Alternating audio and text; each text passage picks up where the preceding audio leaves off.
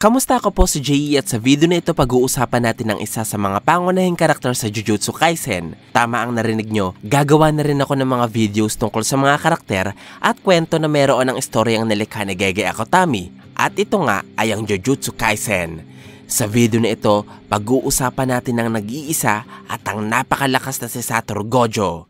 Si Satoru ay galing sa angka ng mga Gojo at kasalukuyan siyang nagtatrabaho bilang guro sa Jujutsu High ng Tokyo, Japan. Madalas siyang ipinapakita na nakikipagbiruan sa kanyang mga kapwa-guro, katrabaho at sa kanyang mga estudyante. Ang pakikipagburoang ito ni Gojo ay konektado sa kawalan niya ng respeto sa mga sorcerers na may mataas na posisyon sa Jujutsu Society. Hindi siya natatakot na bastusin ang mga ito sa kahit na anong pagkakataon na kanyang gusto. At wala rin pakialam si Gojo sa mga executives kaya madali lamang sa kanyang sawayin ng mga ito. Si Gojo ay nagtataglay ng matinding kayabangan Pinapakita ito ng sobra-sobrang tiwala niya sa sarili niyang kakayahan, ng kanyang malaking paniniwala na hindi siya matatalo ng kahit na sino at ng pagdeklara ni Gojo sa kanyang sarili bilang pinakamakapangyarihan sa buong mundo. Ang kayabangang ito ni Gojo ay umaabot sa pagtrato niya sa kanyang kapwa. Tinitingnan niya lamang ang ibabasa sa kanilang lakas. Kaya wala siyang masyadong pakailam sa mga taong sa tingin niya ay mahihina o walang kwenta.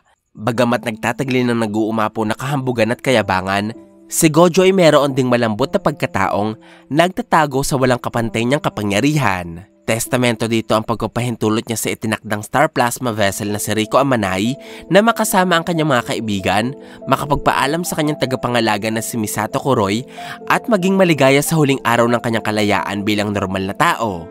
Si Gojo din ang nakaisip ng ideya na kung tatanggi si Rico sa pakikipagsanib kay Master Tengen, papayagan nila itong makatakas at poprotektahan nila ito sa abot ng kanilang makakaya. Higit sa mga ito, si Gojo din ang bumawi sa walang buhay na katawan ni Rico mula sa mga baliw na miyembro ng Star Religious Group upang mabigyan ng dalaga ng maayos na hihimlayan. Maliban pa kay Rico, ang pinaka-ebidensya ng pagkakaroon ng puso ni Gojo ay ang kanyang matalik na kaibigang si Suguro Geto. Kung ating babalikan, tinuturing ni Gojo si Geto bilang tagapanatili ng kanyang moralidad, nakakatulong sa binata na magamit ng kanyang kapangyarihan sa tama. Noong nalaman ni Gojo na nag-iba na ng landa si Geto at gumawa na ng iba't ibang klase ng krimen sa mundo, labis na nalungkot ang binata at hindi siya makapaniwala. Higit sa lahat, noong dumating na ang takdang panahon na kailangan na negosyo na tapusin si Geto, mababaka sa mukha niya ang matinding pagluloksa sa pagkawala ng taong itinuring niya bilang kapantay at nag-iisang kaibigan. Ang pagkakaroon ni Gojo ng awa, malasakit at pagpapahalaga sa iba ay kadalasang nakakalimutan ng marami dahil ang mga katangiang ito ay natatakpan ng kalupitan ni Gojo sa kanyang mga kalaban. Kapag umaharap siya sa mga malalakas na car spirit, hindi nakakalimutan ni Gojo na gawing katawa-tawa ang mga ito. Tinitiyak niyang naiintindihan ng kanyang mga kalaban ang agwat ng kanilang kakayahan at sinisigurado ni Gojo na natapos niya ang duelo gamit ang lakas ng kanyang kapangyarihan. Si Gojo ang isa sa pinakamalakas na Jujutsu sorcerer ng istorya. Kapantay niya o maaaring higit pa siya sa kinikilalang King of Curses na si Ryomen Sukuna kahit noong estudyante pa lamang si Gojo, tinuturing na agad siya ng buong Jujutsu Headquarters bilang pinakamalakas sa kanilang hanay, kaya ipinagkakatiwala sa kanya mga pinakamahihirap na misyon. Pinapatrabaho sa kanya mga pinaka hindi maipaliwanag na anomaly sa kanilang bansa at si Gojo ang pinapaharap sa mga pinakamalalakas na car spirit ng kanilang mundo. Meron siyang nag-uumapaw na curse energy sa buong katawan kaya hindi na nakakapagtaka kung bakit siya napabilang sa apat na special grade sorcerers ng kanilang organisasyon. Ang laksalaksang cursed energy ni Gojo ang rason kung bakit madali lamang sa kanyang makapaglatag ng curtain o ng isang barrier technique sa malawak na lugar. Madali lamang din kay Gojo na makalikha ng simple domain, isang uri ng anti-domain technique na tumutulong sa curse user na mapaglabanan ng mga tiyak na pinsalang na idudulot ng domain expansion. Bukod pa sa mga ito, ang napakaraming cursed energy din ni Gojo ang tumulong sa kanya na magamit ang reverse curse technique upang pagalingin ang kanyang sarili mula sa mga sugat na nakuha niya sa pagkipaglaban. Ang pagkakaroon ng hindi maubos na curse energy ni Gojo ay labas niyang napapakinabangan para magamit ang mga kakayahang aking nabanggit. Ganun pa man, hindi lamang dito ginagamit ni Gojo ang kanyang cursed energy dahil inaasahan niya rin ang ineriya para maging mas mapaminsala ang kanyang mga pisikal na pag-atake. Si Gojo ay may kahanga-hangang pisikal na lakas. Makikita ito sa mga parte ng serye kung saan walang kahirap-hirap niyang pinipinsala ang mga special grade curse spirits at mga curse users gamit lamang ang kanyang natural na lakas. Halimbawa dito ay nung binunot niya ang dalawang sanga na nasa mukha ni Hanami, noong pinigtas niya ang braso at ang ulo ni Jogo mula sa katawan nito, at noong pinatalisok niya si Uraume sa pamamagitan lamang ng isang suntok. Sa sobrang lakas ng kamao ni Gojo, nagawa niyang mapinsalan ng lubusan si Oraume at kahit ang reverse curse technique ay hindi tuluyang napagaling ang pinsalan ng babae. Ang lakas na ito ni Gojo ay kanyang isinasama sa galing niya sa harapang pakikipaglaban. Matatandaan na parang laruan niyang pinagsapok si Jogo noong unang beses silang nagkita. Kahit di noong tumulong si Hanami para makipagpisikalan kay Gojo, wala pa ring panama ang dalawang special grade curse spirits pagdating sa pakipagsuntukan sa binata. Maging ang may akda ng istorya na si Gege Akutami ay kinumpirma na ang kasanayan ni Gojo sa harapang pakikipaglaban ay kayang ipantapat kay Kinjaku. Isang sinaunang curse user na may isang libong taon ng karanasan sa pakikipaglaban pero takot pa rin makipagtuos kay Gojo. Higit pa sa kanyang galing sa harapang pakikipagtuos, ang binata din ay mayroong napakatibay na pangangatawan. Nagpapatunay dito ang laban ni Gojo kay Toji Fushiguro ang isa sa mga kontrabida sa serye na kilala sa alias na Sorcerer Killer. Noong nasaksak ni Toji si Gojo sa likuran na tumagos sa dibdib nito, hindi masyadong kakikitaan ng pag-inda si Gojo at nagawa niya pang makipagduelo sa malakas na kalaban na parang walang nangyari. Matapos ding magawa ni Toji na masaksak si Gojo sa lalamunan at paulit-ulit na pinsalain ang katawan nito, himalang nabuhay pa rin ang magaling na curse user at ginamit niya ang karanasan ng pag-aagaw buhay upang maintindihan ang kayang gawin ng kanyang reverse curse technique. Napagtagumpayan ni Gojo na makatayo sa kabila ng napakasakit na pagkatalo para balikan si Toji at ipakita dito ang tunay niyang kapangyarihan. Ang hindi matibag na pangangatawan, hindi mapantay ang galing sa harapang pakikipaglaban, ang hindi masukat na pisikal na lakas, at ang nag-uumapaw na curse energy ni Gojo ang dahilan kung bakit siya kinakatakutan ng kanyang mga kalaban. Ganun pa man, hindi ang mga ito ang pinakarason kung bakit siya iniiwasan sapagkat ang pinakadahilan ay ang kanyang tinataglay na curse technique na may pangalang Limitless. Ang Limitless ay isang likas na kakayahan ng pamilyang Gojo. Nagbibigay ito ng kapangyarihan sa gumagamit na makontrol at mamanipula ang mga espasyo sa paligid gamit ng cursed energy.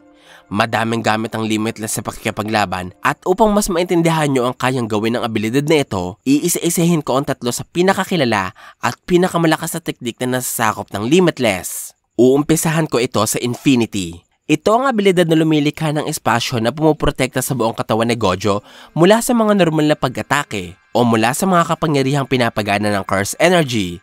Sa tuwing papatamaan si Gojo ng kanyang mga kalaban gamit ng kanilang mga curse technique, mistulang napapatigil ni Gojo ang mga ito bago tumama sa kanyang katawan. Kahit ang totoo, ay pinapabagal lamang ng Infinity ang mga pag-atake habang mas lumalapit ito kay Gojo. Imbis na ang katawan din ni Gojo ang maabot ng mga pag-atake, tumatama lamang ito sa Infinity. Kaya animoy napapawalang bisan ng curse user ang mga abilidad na ginagamit laban sa kanya. Hindi siya mahahawakan ng kahit na sino at hindi rin nila masasaktan si Gojo kung ang mga teknik na gagamitin lamang nila ay nangangailangan ng pagdampi sa katawan ng binata.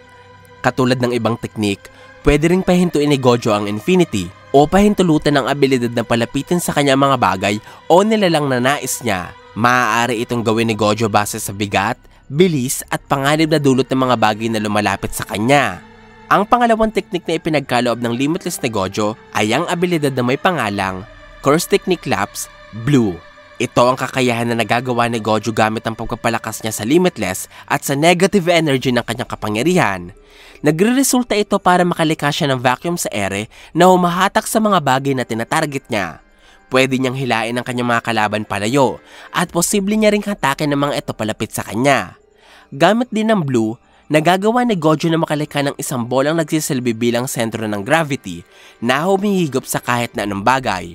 Nakokontrol ni Gojo ang bolang ito at pinapatama sa kanyang mga target. Dahil sa matinding paghigop na naidudulot ng Blue, nadudurog ang mga bagay na nadadaanan ng kapangyarihan at nakakalika si Gojo ng matinding pagkawasak sa kapaligiran. Ang pangatlong teknik na meron ng Limitless ay ang Curse Technique Reversal, Red. Hindi ka pareho ng blue na umaasa sa lakas ng negatibong enerhiya, ang red ay nanalilika sa pamamagitan ng positibong enerhiya mula sa reverse curse technique ni Gojo. Kabaliktaran din ng blue na may enerhiyang nakasentro sa paghatak ng mga bagay, ang red naman ay may enerhiyang nakatuon sa pagtulak ng mga target. Kadalasang pinapalabas ni Gojo ang red sa dulo ng kanyang hintuturo.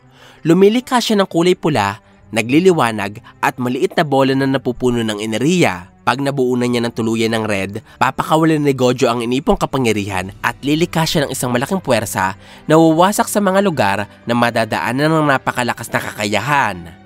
Ang Infinity, Blue at ang Red ay ang tatlong pangunahing abilidad na nalilikas sa tulong ng Limitless. Pero may isa pa itong teknik na hindi ko pa nababanggit dahil kaunti lamang sa Gojo family ang may alam. Ito ang hindi pangkaraniwang kapangyarihan na tinatawag bilang Hollow Technique purple. Isa itong abilidad na nabubuo kapag pinagsama ang blue at red. Dahilan para makuha ng purple ang kakayahan ng blue na may ineriyang nangahata at ang red na may ineriyang pangtulak. Kaya kapag ginagamit ito ni Gojo, nagagawa niyang burahin sa mundo ang kahit na anong bagay na direktang natatamaan ng purple.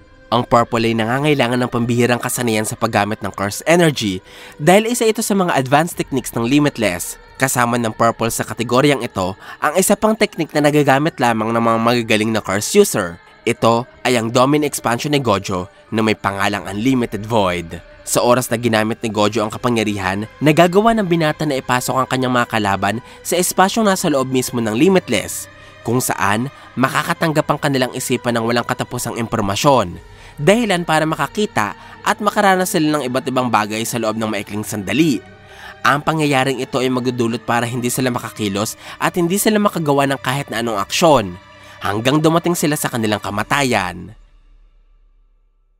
Sa loob ng kwento, hindi ka na makakahanap ng abilidad na kasing ganda ng Limitless na Gojo.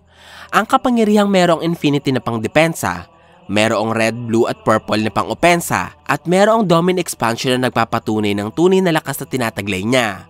Ang mga abilidad na ito ni Gojo ay mga inherited curse techniques na namana niya sa salinlahi ng kanyang pamilya. Subalit, masasabing siya ang pinakamalakas sa kanilang lahi na nagmana nito sapagkat ang tunay na kapasidad at kakayahan ng Limitless ay nagamit lamang ni Gojo dahil nakuha niya rin ang isa pang espesyal na katangiang tinataglay ng kanyang pamilya na tinatawag na Six Eyes. Ito ay ang kulay asul, nagniningning at napakagandang pares na mga mata na meron si Gojo. Hindi lamang ito nagkalab sa kanya ng agaw pansing hitsura sapagkat nagbigay din ng 6A sa kanya ng napakalakas na pandamang humihigit sa kahit na sinong sorcerer sa istorya. Nakikita ni Gojo ang daloy ng cursed energy sa katawan ng isang nilalang o sa paligid kaya napapag-aralan niya agad ang mga elementong bumubuo sa isang curse technique at nalalaman ang gamit nito. Ang Six Eyes din ni Gojo ang nagpapahintulot sa kanya na makita ang pagkakaiba ng mga curse energy sa paligid. Tumutulong para malaman niya kung sinong curse user ang nagmamayari nito. At higit pa sa aking nabanggit, ang Six Eyes din ni Gojo ang nagbigay sa kanya ng walang mintis na kakayahan sa pagmamanipula ng curse energies. Ang punot dulo kung bakit kaya niyang kontrolin, pagkadalubhasaan at mas palakasin ang isang komplikadong abilidad kagaya ng Limitless. Ang Six Eyes ay hindi isang curse technique kaya hindi pwedeng pahintuin o pagpahingahin ang gamit nito. Ito ang rason kaya nagsusuot si Gojo ng benda sa mata, piring o sunglasses para malimitahan ng binata ang kanyang nakikita at maiwasan niya ang labis na pagod sa paggamit ng kanyang mga mata.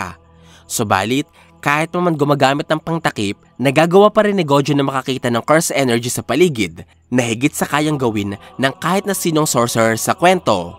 Si Gojo lamang ang may kayang gawin ito dahil siya lamang ang nag-iisang tao na humawak sa Limitless at sa Six Ace ng sabay matapos ang apat na raang taong kasaysayan. Ganito ka-espesyal si Gojo. Lahat ng kakayahan niya mula sa physical na lakas, curse techniques at six eyes ay ehemplo ng perpektong kapangyarihan kaya hindi na nakakapagtaka kung bakit nagawa ni Gojo na durugin ng pinong-pino ang isang special grade curse spirit na si Hanami sa pamamagitan lamang ng pag-ipit dito gamit ng kanyang limitless.